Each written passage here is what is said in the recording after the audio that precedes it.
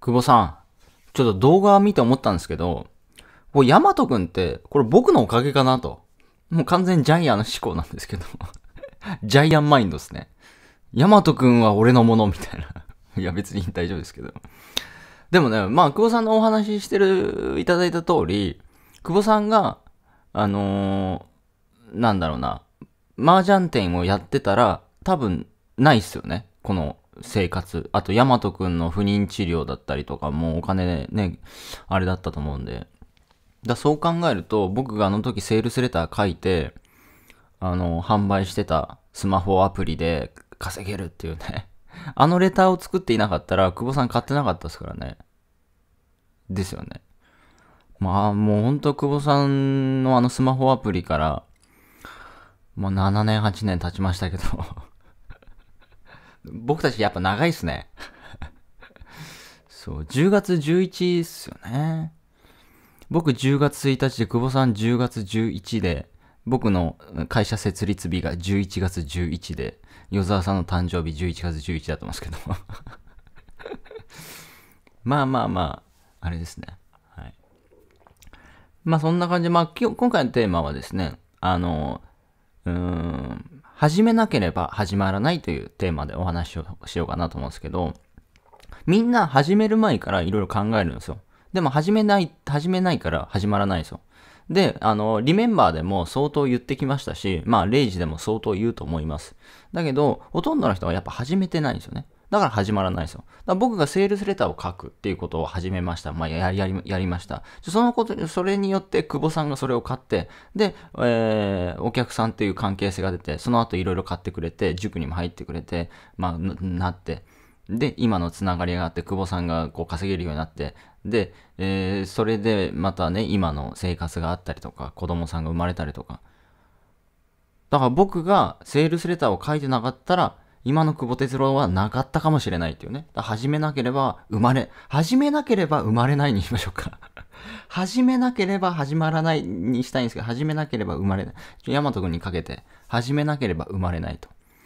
だから要は生まれるって何かっていうと、まあ、今回ね、ヤマト君の命かもしれないですけど、あの、始めなければ失敗も生まれないし、成功も生まれないですよ。わかります？つまり、何も生まれないってことです。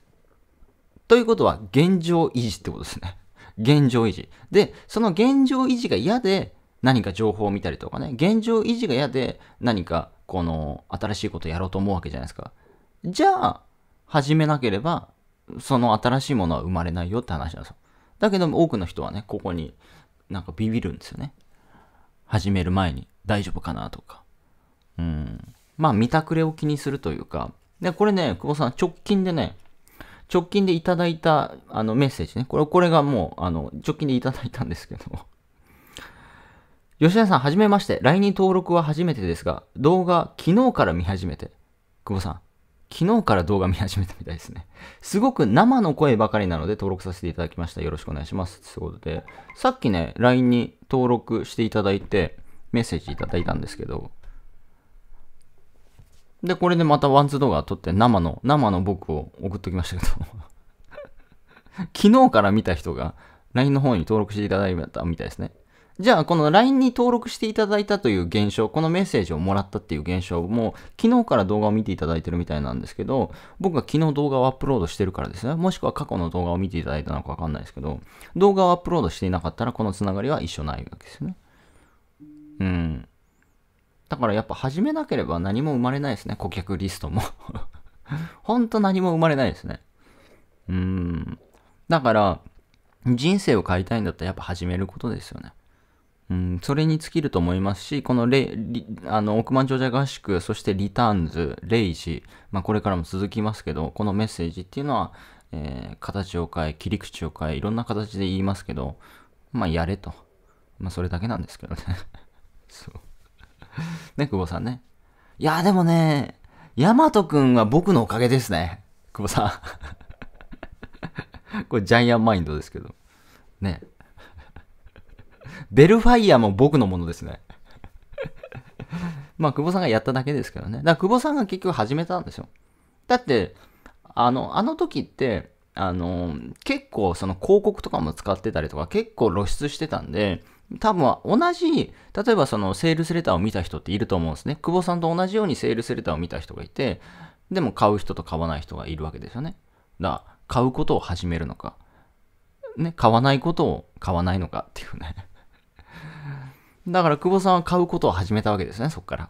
で、結局あのバックエンドまで買うことをあの続けたっていうね。そう、綺麗に久保さん買っていただきましたね、いろいろとね。ありがとうございます。はい、まあ、裏で僕がやってるとは思わなかったでしょうけど。はい、山口です。みたいなね、やってましたね。懐かしいですね。はい、いってらっしゃい。